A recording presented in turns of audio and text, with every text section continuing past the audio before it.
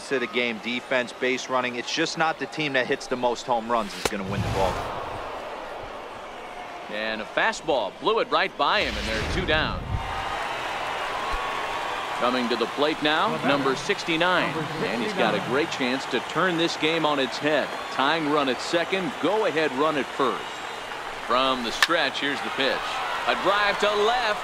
Get out of here, get out of here. Gone, they win it. Santa Maria.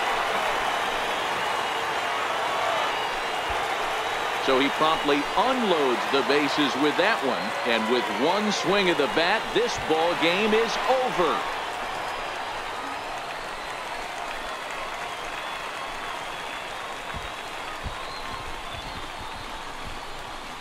Man, I guess a regular walk-off wasn't enough for him, so he blasts a grand slam in the final at bat to win this thing.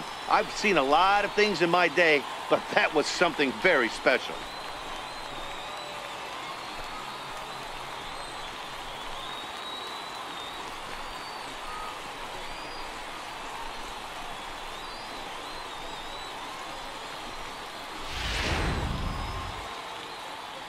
Twelve to